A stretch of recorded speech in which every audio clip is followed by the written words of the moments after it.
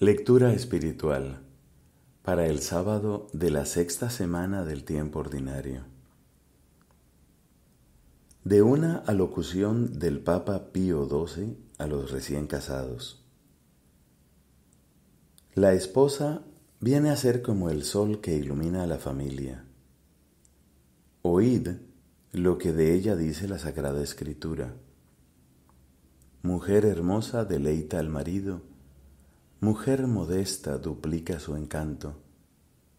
El sol brilla en el cielo del Señor, la mujer bella en su casa bien arreglada. Sí, la esposa y la madre es el sol de la familia. Es el sol con su generosidad y abnegación, con su constante prontitud, con su delicadeza vigilante y previsora en todo cuanto puede alegrar la vida a su marido y a sus hijos. Ella difunde en torno a sí luz y calor. Y si suele decirse de un matrimonio que es feliz cuando cada uno de los cónyuges, al contraerlo, se consagra a hacer feliz no a sí mismo, sino al otro, este noble sentimiento e intención aunque les obligue a ambos, es sin embargo virtud principal de la mujer, que le nace con las palpitaciones de madre y con la madurez del corazón.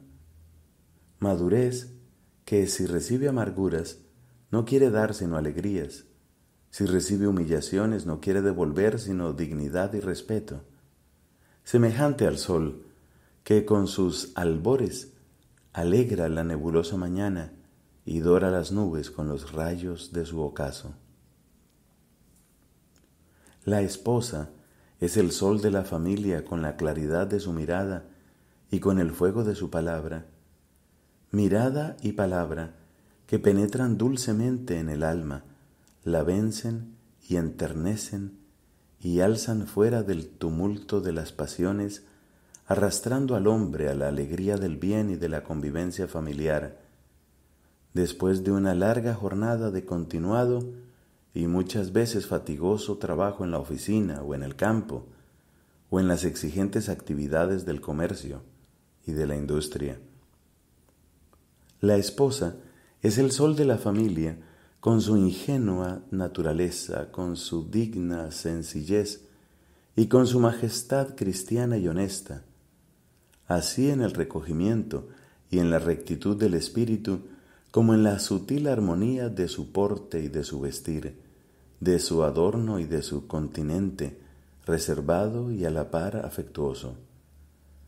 Sentimientos delicados, graciosos gestos del rostro, ingenuos silencios y sonrisas, una condescendiente señal de cabeza le dan la gracia de una flor selecta y sin embargo sencilla, que abre su corola para recibir y reflejar los colores del sol.